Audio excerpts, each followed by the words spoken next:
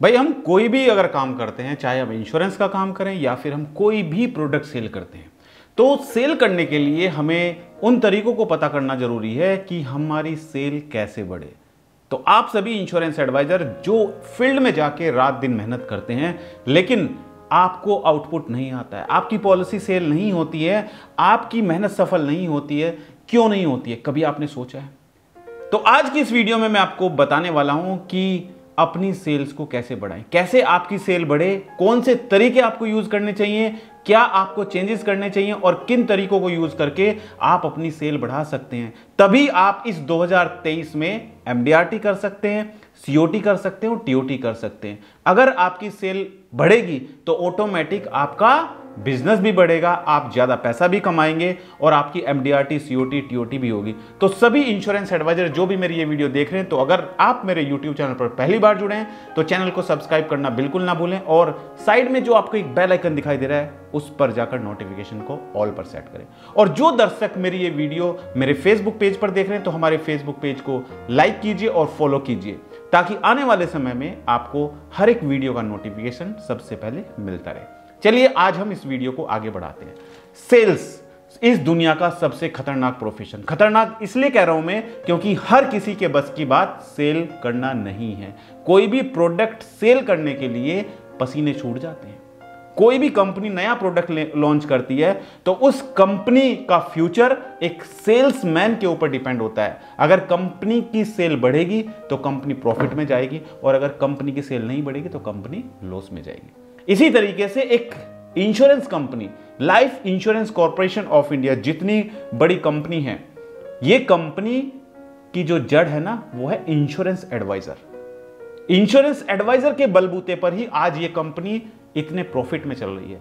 जितनी मेहनत insurance adviser ने फ़ील्ड में जाके की है, लोगों को इंश्योरेंस पॉलिसी के बारे में बताया और कंपनी का जो बिज़नेस है, वो दिन पे दिन बढ़ता जा रहा है, इसके पीछे सिर्फ़ एक ही कारण है इंश्योरेंस एडवाइजर की मेहनत. आज Life Insurance Corporation of India जिस तेज़ी के साथ आगे बढ़ रही है और कंपनी का प्रॉफिट दिन पे दिन बढ़ता जा रहा है तो इसका सीधा सीधा जो क्रेडिट जाता है, वो जाता है इंश्योरेंस एडवाइजर को। क्योंकि इंश्योरेंस एडवाइजर की मेहनत के दम पर ही ये कंपनी आज यहाँ पर पहुँची है।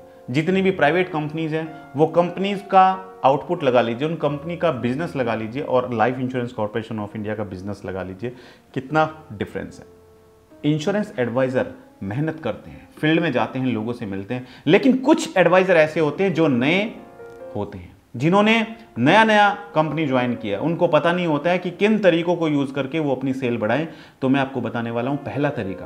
पहला तरीका जिसकी बदौलत आप अपनी सेल बढ़ा सकते हैं। जब भी आप इंश्योरेंस कंपनी ज्वाइन करते हैं, जब भी आपकी एजेंसी स्टार्ट होती है, आपका कोड आपकी ब्रांच में ओपन होता है तो आपके डेवलपमेंट ऑफिसर आपको टारगेट देते हैं कि जाओ, फ़ील्ड में जाइए और अपना पॉलिसी लॉगिन कीजिए और अपनी एजेंसी को एक्टिवेट कीजिए।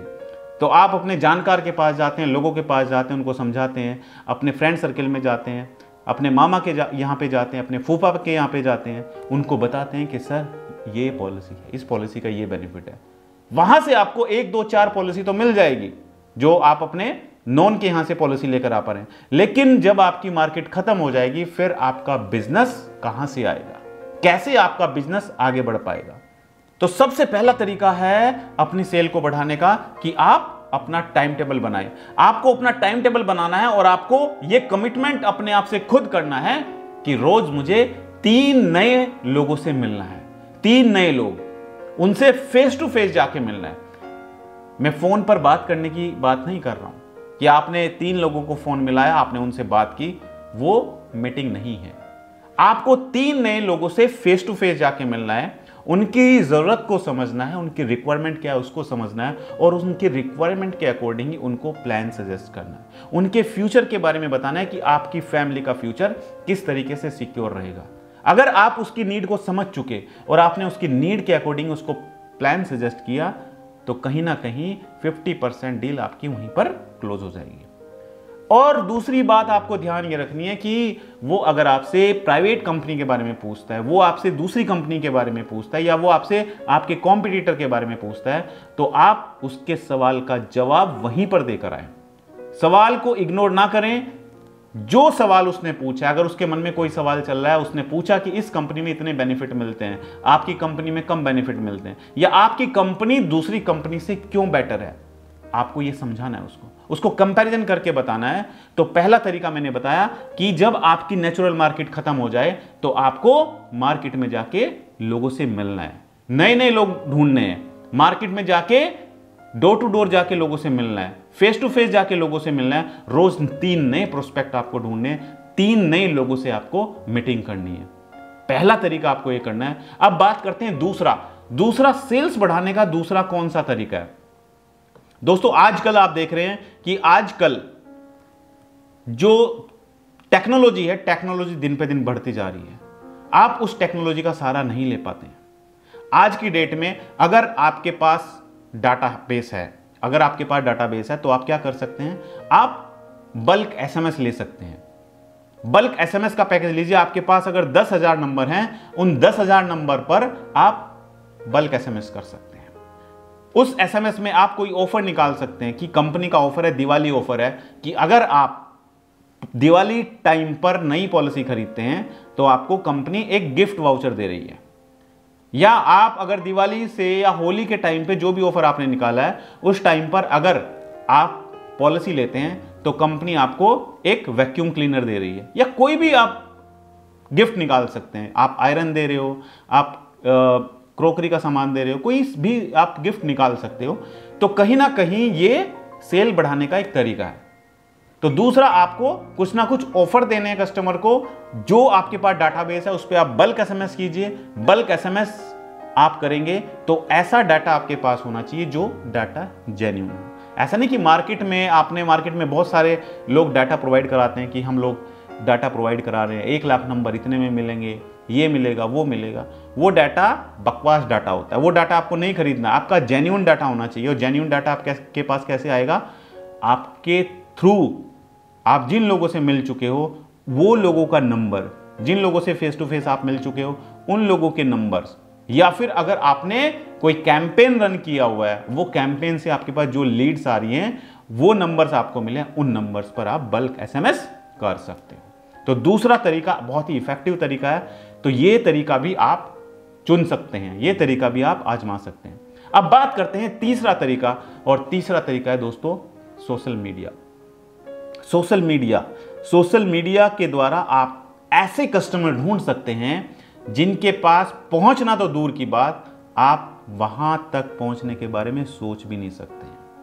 आप चाहते हैं कि कंपनी के मैनेजिंग डायरेक्टर, आपके एरिया में कंपनी के मैनेजिंग डायरेक्टर उनको आप पॉलिसी बेचना चाहते हैं। आप चाहते हैं कि कंपनी का चेयरमैन उनको आप पॉलिसी बेचना चाहते हैं। आप चाहते हैं कंपनी की कंपनी के सीईओ उनको आप पॉलिसी बेचना चाहते हैं। तो फेस टू फेस जाके डोर टू डोर जाके आप उनसे मिल के तो ढूंढ नहीं सकते हो कि कौन कंपनी का चेयरमैन है, कौन मैनेजिंग डायरेक्टर है। कैसे आप ढूंढेंगे? सोशल मीडिया के द्वारा। सोशल मीडिया से आप एडवर्टाइजमेंट रन कर सकते हैं।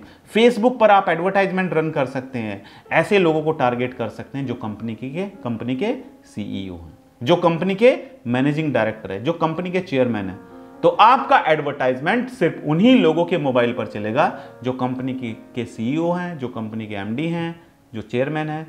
तो वो लोग आपका एडवर्टाइजमेंट देखेंगे और अगर उनको इंश्योरेंस पॉलिसी की ज़रूरत है, उनको आपका एडवर्टाइजमेंट देख के कुछ अच्छा लगा तो वो आपसे कांटेक्ट करेंगे। और अगर ऐसे हाई प्रोफ़ाइल कस्टमर से आपको मिलते हैं तो आप सोचिए कि अगर एक डील भी आपकी क्लोज होती है तो एक डील ही आपकी एमडीआरटी करा सकती है। तो ये तीसरा तरीका जो मैंने बताया, बहुत ही इफ़ेक्टिव तरीका है। आप सोशल मीडिया पर फेसबुक एडवर्टाइजमेंट के द्वारा टारगेटिंग कर सकते हैं।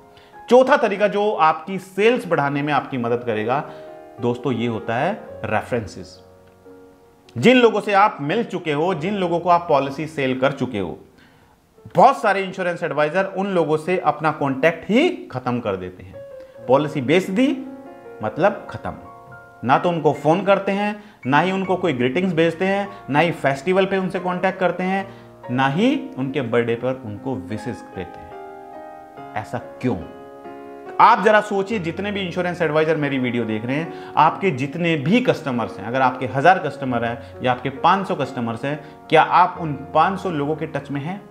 अगर आप उन 500 लोगों के टच में नहीं हैं तो ये आपकी बहुत बड़ी मिस्टेक है। वो 500 लोग, अगर वो 500 लोग आपकी सर्विस से सेटिस्फाई हैं तो एक कस्टमर से जाके अगर आप पाँच रेफरेंसेस भी लेंगे तो पाँच रेफरेंसेस लेने के बाद आप उनसे कांटेक्ट करेंगे और उस आदमी का रेफरेंस उनको देंगे कि, सर, मिस्टर दीपक ने आपका मुझे नंबर दिया है, उनका पॉलिसी मैंने किया था। राइट तो ये वो प्रोस्पेक्ट होंगे ये वो लीड्स होंगे, ये वो कस्टमर्स होंगे जो रेफरेंस के थ्रू आपको मिले हैं और इनके कन्वर्जन के चांसेस बहुत ज़्यादा होते हैं। तो वो फिर उससे बात करेगा जिसने आपको रेफरेंस दिया है और वो बोलेगा कि हाँ अच्छा एडवाइजर है, आप पॉलिसी ले सकते हैं। तो इस तरीके से आप रेफरेंस लेना बिल्कुल ना भूलें, क्योंकि आप क्या करते हैं, आप एक बार पॉलिसी सेल कर दी, उसके बाद भूल जाते हैं और आगे आप नए नए कस्टमर्स ढूंढते रहते हैं। ये आपके ऐसे कस्टमर्स हैं जो आपको लाइफ इंश्योरेंस पॉलिसी भी देंगे हेल्थ इंश्योरेंस पॉलिसी भी देंगे, आपकी गाड़ी, उनकी गाड़ी है तो उसका इंश्योरेंस भी वो आपसे कराएँगे। तो ऐसा नहीं कि एक बार पॉलिसी सेल कर दी और उसके बाद भूल जाते हैं। और अगला जो तरीका है दोस्तों, ये तरीका है बल्क ईमेल अब जो आपके पास डाटाबेस आया है, जो आपको कस्टमर्स मिले हैं, जो आपने कैंपेन रन किया था ऑनलाइन जिनकी ईमेल आईडी आपके पास आई, आपके पास पंद्रह हज़ार लोगों का डाटाबेस है। आपको पंद्रह हज़ार लोगों की ईमेल आईडी आपके पास है तो आप क्या करें? बल्क ईमेल बल्क ईमेल के लिए आप एक अच्छा सा लैंडिंग पेज बनाएँ। उस लैंडिंग पेज पर आप अच्छे से ऑफ़र निकालें और उन दस हज़ार या पंद्रह हज़ार लोगों को बल्क ईमेल सेंड कर दें।